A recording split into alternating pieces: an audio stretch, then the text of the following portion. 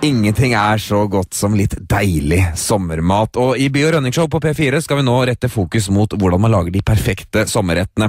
Vi har med oss en mesterkokk kjent fra sitt eget program, nemlig Hellstrøm rydder opp, og mange som eh, lytter husker han kanskje som litt vel streng, har noe arrogant overfor de som er med i programmet, men nå har han lovet å bare være koselig og, og snakke om sommermat med, med et stort smil. Velkommen, Eivind Hellstrøm. Ja, Det var dine ord. Det første som slår meg, er at jeg ikke akkurat imponerte med interiøret her.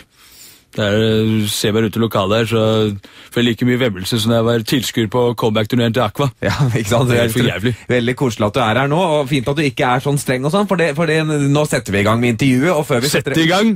Skal du ikke by meg på noe? Jo. Hva er det for slags service er dette her? Tror du jeg bare skal sitte her og vansmekte? Nei, selvfølgelig. Svar meg, gutt! Ja. Gi meg en kaffe. Ja, men kaffe. Selvfølgelig skal du få en liten kaffe i dette koselige samprogrammet vårt. Og hvordan vil du ha kaffen? Da gjør vi det enkelt. Jeg tar en dobbel cortado latte frappé med macchiato, sjokoladeskum og kanelstrøssel uten gutten. Ja. Nå, kom igjen! Ja, vi har i hvert fall svart hopp. kaffe hvis det Det er er kø på kjøkkenet.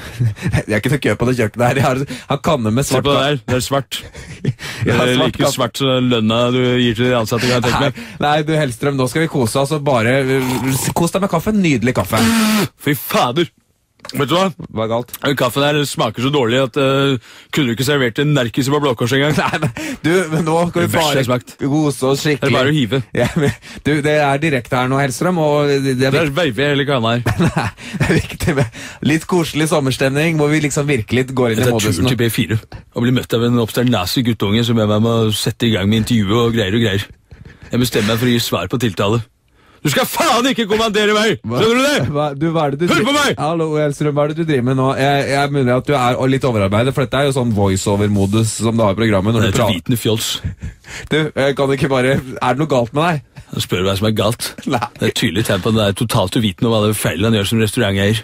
Førsteinntrykket er ekstremt dårlig. Det er, det er ikke noe restaurant. Hellstrøm, dette er ikke noe restaurant, dette er radioprogram. Jeg ved siden av meg fortsetter med den villeste bortforklaringen jeg har hørt på lenge. Det er et tydelig tegn på at den går på sterke medikamenter. Jeg velger å overse fadesen og fortsetter intervjuet med håp om bedring. Dette er en mann som tydelig trenger min hjelp. Du, vi, skal bare ha en koselig greie her, og du er her på våre premisser, Hellstrøm. eh, Og det, det er ikke noe Ja, ja. Er det du som stiller spørsmålene her nå? Ja, jeg får, nei, hva? Det er heller du som skal svare på mine spørsmål. Nei. Jo. Du, hva, Jeg er ridder av første klasse, vant Gullruten. Så hold kjeft. hva, hva, Hvordan i helvete får du hjulene til å gå rundt her? Det er jo ingen kunder her. Nå går det ser, ser du noen kunder? nei, men det er, ikke, det er ikke meningen. Det er gjester. Det er her, er lite her òg. Det er så lite at uh, du blunker, så vasker du vinduene. Ja, det er veldig Og det burde du gjort for lenge siden, forresten. Det er jævlig skittent. Ja, men det, nå kan du kan Når mikrofonen er helt håpløs. Ja. Den er skitten. Hvordan skal jeg kunne spise av den?